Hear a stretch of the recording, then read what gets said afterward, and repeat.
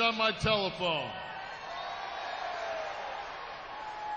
You want to see the text message my little sister Shalene sent me last night? Here, here it is. OMG, Kevin Nash, WTF, thought he was dead, LOL.